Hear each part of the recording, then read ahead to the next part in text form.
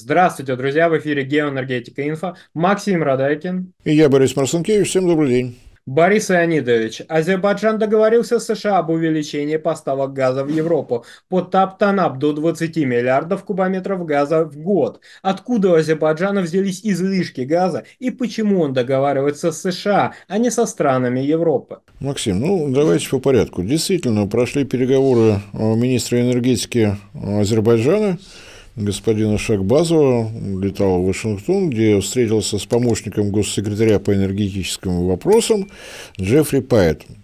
Вопрос, который обсуждали, там был, конечно, отнюдь не только э, вот этот э, магистральный газопровод Таптанап, там поднимались и вопросы дальнейшего наращивания зеленой энергетики зеленый коридор, э, проект поставки электроэнергии, вырабатываемый на солнечных ветряных электростанциях в Азербайджане и в Грузии, по дну Черного моря в Венгрию и далее по Евросоюзу и так далее, и так далее. Но рассматривался и вопрос действительно об увеличении э, поставок азербайджанского газа в Европу. Напомню, что такое ТАП-ТАНАП. Это магистральный газопровод, э, ресурсным источником которого является вторая фаза разработки морского месторождения природного газа Шах-Денис, Шах-Денис-2 для краткости. Э, магистральный газопровод проходит по территории Азербайджана под Кавказским хребтом в Грузию. Э, на берегу Грузии он ныряет в Черное море, выныривает в Турцию, проходит территорию Турции до границы с Албанией, вот такая, до, до границы с Грецией, из Греции в Албанию, в Албании ныряет Средиземное море и доходит до Италии как конечной точки. Э, гигантской продолжительности маршрут, э, сложности, ну, по описанию понятно, здесь и горные хребты, и два моря, и транзитные расходы, тут просто перечислить все страны, которые в, в этих поставках участвуют, уже понятно. Предварительная смета вот этого магистрального газопровода составляла 45 миллиардов долларов. Я уж не знаю, как там что происходило, но по ходу строительства умудрились не уйти в перерасход, как это обычно бывает, когда этим занимаются европейцы.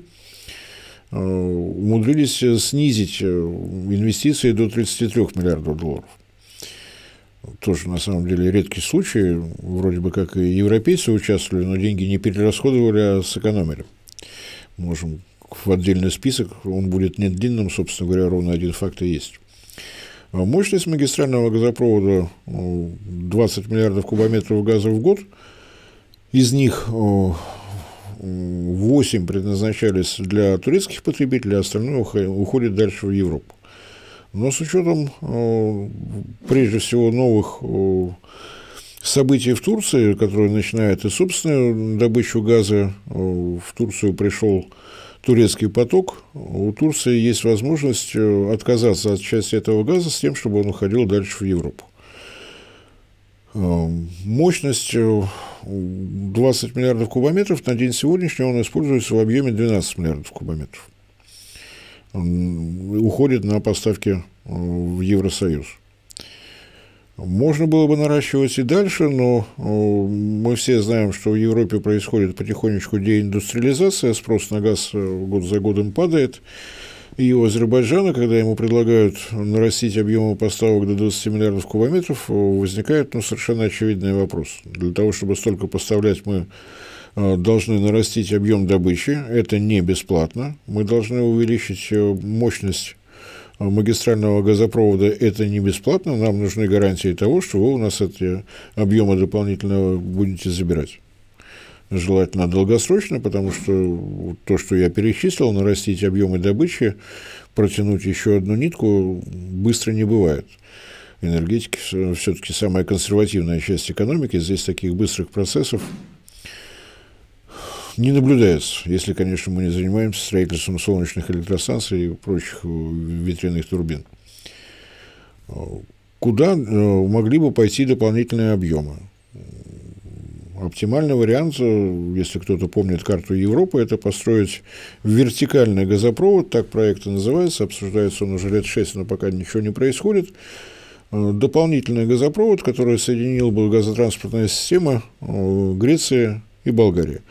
А дальше этот газ может уходить по балканским странам, включая Румынию, с учетом того, что в конце этого года заканчивается договор о транзите российского газа через газотранспортную систему Украины, может возникнуть дефицит. Чтобы этого дефицита не было, давайте построим дополнительный трубопровод и будем дополнительные объемы аккуратно между всеми желающими распределять.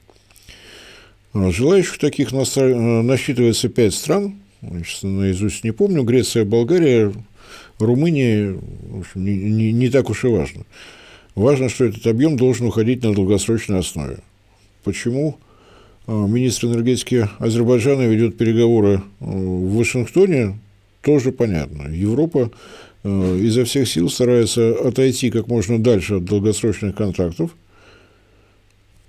Причины тоже понятны. У нас появляется СПГ, у нас есть третий энергопакет, который предусматривает именно э, спотовое ценообразование зачем нам нужны долгосрочные контракты, у Азербайджана возникает вопрос, как же я вам газ поставлю, если вы ничего долгосрочного не хотите. И у Азербайджана, собственно говоря, было э, два э, пути для решения этой проблемы. Вести переговоры с, с каждой из пяти европейских стран, которые потенциально могут участвовать в этом проекте, если говорить о настрое европейских стран, то для того, чтобы ну, соединить газотранспортные системы Греции и Болгарии дополнительным трубопроводом, а, требуется построить почти 200 километров трубопровода, вот об этом разговаривают уже 5 лет. То есть подход настолько решительный, что, вероятнее всего, это может не закончиться никогда. И э, руководство Азербайджана принимает, на мой взгляд, совершенно рациональное решение, вместо того, чтобы разговаривать э, с представителями каждой из пяти европейских стран с их газовыми компаниями, с их газотранспортными компаниями.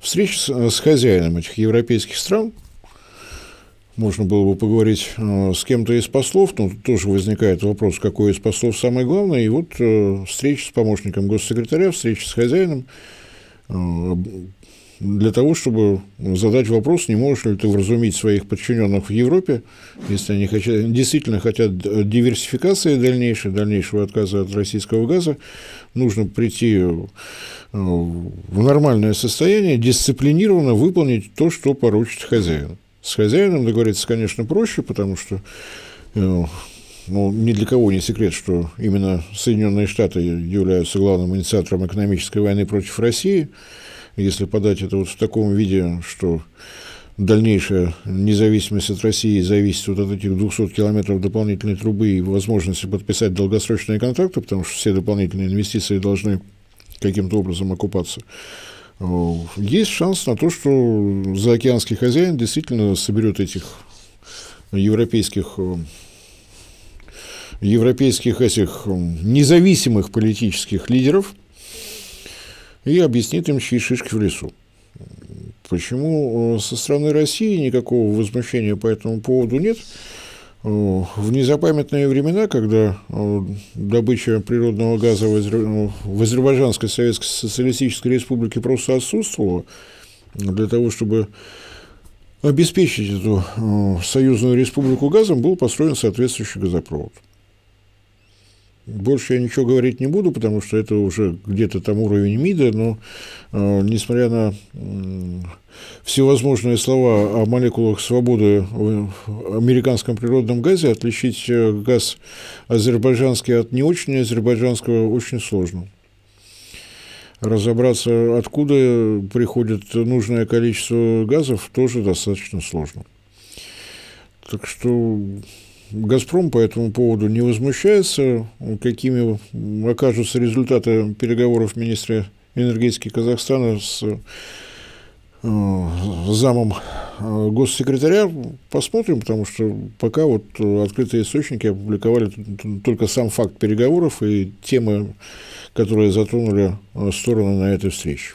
Но мне, на самом деле, ход Азербайджана, вне зависимости от э, наших двусторонних отношений, кажется совершенно логичным. Вместо того, чтобы вести переговоры с пятью европейскими независимыми государствами, значительно быстрее и проще попытаться решить вопрос через их хозяина. Это занимает меньше времени и меньше будет повода для маневров, потому что, как мы все знаем, приказы, получаемые из-за океана, в Европе не обсуждают, а выполняют. То есть, если на уровне э, политических лидеров Соединенных Штатов этот э, проект наращивания объемов поставок газа из Азербайджана в Европейский Союз будут признаны полезными, Европейский Союз, естественно, выполнит все, что будет сказано. Это быстрее, это логичнее. Борис Леонидович, тут злые языки говорят о том, что газ азербайджанский может оказаться случайно российским. Газотранспортная система совместно имеется, да и аппетиты у самого Азербайджана по потреблению внутреннему газа растут. Что вы на этот счет думаете? Ой, что я думаю, это отдельная тема. В наших э, средствах массовой информации ничего нет. Я просто перечислю факты, а уж кто и как их будет интерпретировать, меня особо, в общем-то, не интересует. Действительно, э, спрос на природный газ в самом Азербайджане стабильным не является, он растет. Растет экономика, растет население. А после событий 2020 года, когда в состав Азербайджана вернулись семь оккупированных районов, я сейчас не касаюсь Нагорно-Карабахской республики, никем не признанной, Никто никогда не возражал по поводу того, что семь районов Азербайджана были незаконно оккупированы. Многие годы этот э, конфликт длился, осенью 2020 года он закончился. Семь районов для Азербайджана, которые необходимо поднять хотя бы до нынешнего уровня развития основной территории Азербайджана, это огромная нагрузка, она, естественно, потребует больших э, объемов электроэнергии. Да, есть планы э, все эти семь районов сделать совершенно зелеными, но я пока не видел э, технико-экономических обоснований, как можно решить э, все проблемы семи районов за счет солнечных ветряных электростанций. Насколько это реально, насколько нереально. Что касается газа для внутреннего рынка Азербайджана, то он прежде всего шел с нефтяного месторождения АЧГ, шельфовое месторождение с большим количеством попутного газа. Добывается на основании соглашения о разделе продукции, по этому соглашению весь попутный газ отправлялся на переработку на газоперерабатывающие заводы, которые этот газ очищали и э, поставляли потребителям. Этого было вполне достаточно до э, последнего времени, когда э, стали появляться э, дополнительные факторы. Дополнительный фактор то, что месторождение вот это АЧГ потихоньку выходит на поздней стадии выработки, падает пластовое давление у нефти. Для того, чтобы это давление поднять, самый известный и самый доступный способ – пласт в газ. Газ в пласт – то есть тот попутный нефтяной газ, который идет вместе с нефтью, после отделения отправлять обратно э, в пласт, чтобы поднять давление, чтобы э, сохранять объем добычи нефти на прежнем уровне, не дать упасть объемом добычи.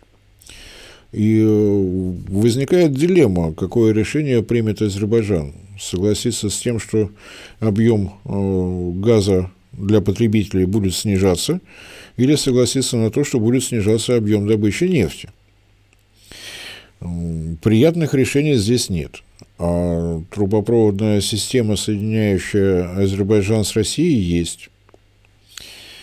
Ее никто не демонтировал, в утиль не сдавал, как она была построена в советские времена, то есть еще в то время, когда добыча газа на территории Азербайджана просто отсутствовала, газ пришел из России трубопровод на месте. Я не знаю, в каком состоянии газоперекачивающие агрегаты, но и, собственно говоря, а, кого это касается. А, Все, что связывает а, Азербайджан с европейскими потребителями газа, это договоренность о том, что газ, добываемый на второй фазе Шах-Дениза, будет уходить в Европу. Уходит, уходит. А откуда мы берем газ для нашего внутреннего потребления, это наша внутренняя проблема. Так что повторюсь, никакой молекулярный анализ отделить э, молекулы азербайджанского газа от молекул не азербайджанского газа науке неизвестно. Но, опять же, кому какое дело до двусторонних отношений России и Азербайджана? Борис Леонидович, большое спасибо за комментарий. Друзья, подписываемся на Геоэнергетика Инфо в Дзене, в Телеграме, на Ютубе обязательно. Все ссылки будут в описании к данному ролику и закрепленному комментарию. Там же будут реквизиты для желающих финансово поддержать наш проект в условиях лишения монетизации на Ютубе. Спасибо, до новых встреч. Не забывайте подписываться на телеграм-канал со сложным названием Борис Марсенкевич. Не забывайте размещать наши ролики в ваших социальных сетях. Этим вы помогаете нашему проекту. Всем спасибо за внимание. Всем всего доброго.